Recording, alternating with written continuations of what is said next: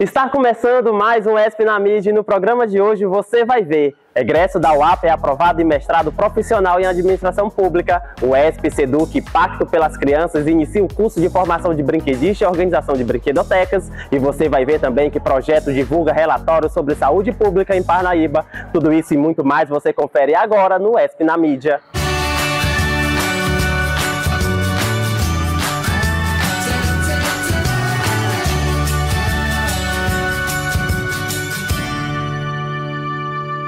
O Centro de Ciências Humanas e Letras da Universidade Estadual do Piauí, Campus Poeta Torquato Neto, em Teresina, torna público o resultado final dos candidatos inscritos no exame de proficiência online em língua estrangeira a divulgação marca a conclusão do processo seletivo, que é um passo importante para estudantes e profissionais que buscam comprovar habilidades em idiomas estrangeiros para fins acadêmicos e profissionais. Acessando o esp.br você tem mais informações. A UESP Campus Professor Ariston Dias Limas, em São Raimundo Nonato, vai realizar o primeiro simpósio de geodiversidade do território Serra da Capivara entre os dias 9 e 10 de outubro. A programação inclui palestras com professores e pesquisadores da nossa UESP e também outras universidades universidades do país, representantes da Defesa Civil e ainda uma visita ao Museu da Natureza. Para mais informações, acesse uesp.br. A UESP realizou um evento especial para celebrar o Dia dos Pais. A cerimônia contou com uma programação cultural e destacou a importância da paternidade ativa. O reitor, professor doutor Evandro Alberto,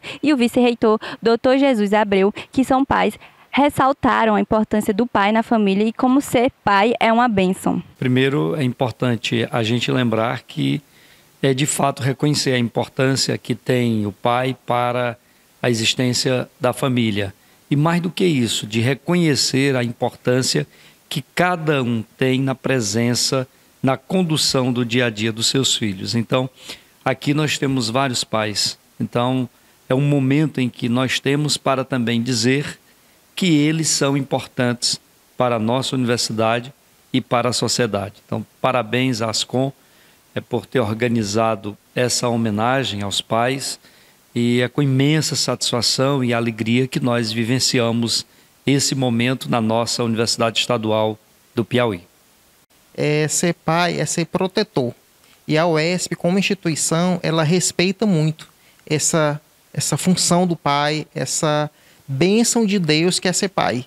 Então, nossa instituição ela é alinhada com os valores da sociedade, com o, a dedicação dos pais e nós parabenizamos pelo esse dia tão especial. A Universidade Aberta do Piauí celebra mais uma conquista dos seus discentes e egressos. O estudante João Pedro Lima de Oliveira, do curso de Administração Pública, foi aprovado no mestrado profissional em Administração Pública na Universidade de Brasília, localizado na capital do país. O estudante falou conosco sobre essa conquista tão especial. É, eu fiquei muito feliz, né? Mas essa entrada e ingresso no mestrado, ela vem sendo realizada desde 2023.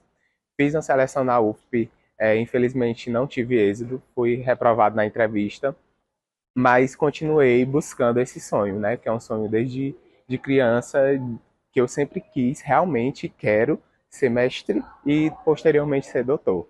Mas é uma construção, né, foi uma construção e hoje eu, graças a Deus, é, e a minha família que sempre me apoia, eu estou ingressando no mestrado da, em administração pública na UNB a Pró-Reitoria de Extensão, Assuntos Estudantis e Comunitários da UESP, através do Departamento de Línguas, lançaram as inscrições para os cursos presenciais e online. Serão ofertadas 600 vagas gratuitas para os cursos de espanhol, inglês, francês, libras e português. As inscrições podem ser realizadas entre os dias 14 e 18 de agosto de 2024, e as vagas serão divididas igualmente entre a comunidade interna da UESP e a comunidade externa. As inscrições serão realizadas através desse site que aparece aqui no vídeo. O Hospital Infantil Lucídio Portela, em parceria com a Universidade Estadual do Piauí, publicou um edital para o credenciamento de preceptores no programa de residência médica em cirurgia pediátrica. As vagas são destinadas à reposição de vagas remanescentes e voltadas exclusivamente para médicos servidores do estado do Piauí, lotados no Hospital Infantil, e para médicos professores efetivos da UESP. Para mais informações, acesse uesp.br. A Assessoria de Comunicação da UESP lançou um guia prático sobre o trabalho prático do jornalismo e do cerimonial da universidade.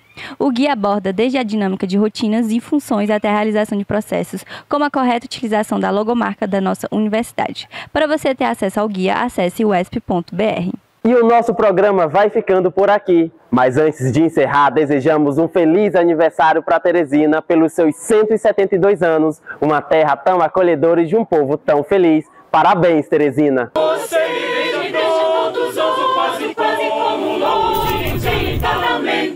Eu desanoiteço no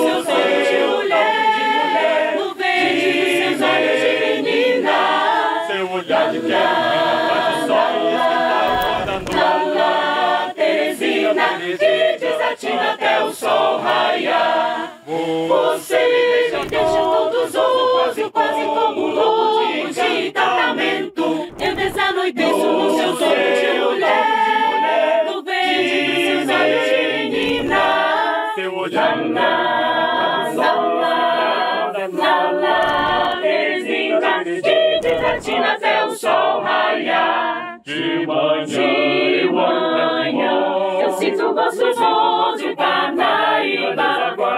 choro transbordantemente, de alegre enchente no meu coração. São dois beijos como as águas claras desse Parnaíba que não volta mais. Apenas olham minha Teresina, como quem delira na beira do cais.